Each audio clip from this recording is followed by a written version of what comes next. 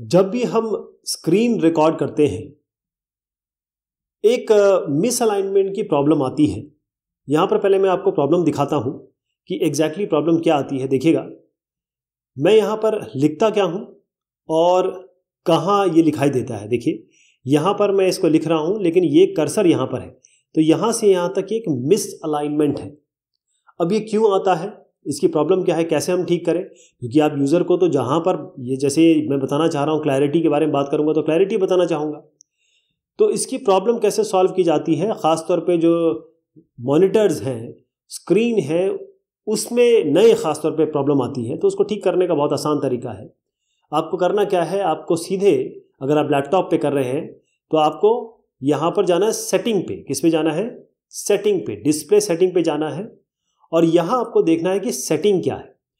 आपकी शुरुआत में जो सेटिंग होगी, वो मैक्सिमम पे होगी। अमूमन, जब भी आप लैपटॉप लेते हैं या सिस्टम लेते हैं तो आप देखेंगे कि आपकी ये वाली सेटिंग होगी मैक्सिमम तो ये क्योंकि इसका जो एक्चुअल रेजोल्यूशन वो यूज़ करना चाहते हैं आप।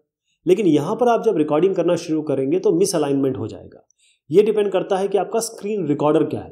तो आपको मल्टीपल चीज़ें करनी पड़ेगी। जैसे, मेरा जब शुरुआत हुई तो ये रेजोल्यूशन था और ये इसका स्केल था। तो मैंने अलग अलग ट्राई किए।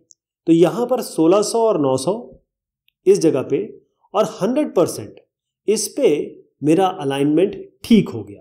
तो ये इसका एक सोल्यूशन है, और भी मल्टीपल सोल्यूशन हो सकते हैं, लेकिन ये इसका बेस्ट सोल्यूशन है। फिर से मैं आपको बताऊँगा कि आपको क्या करना है।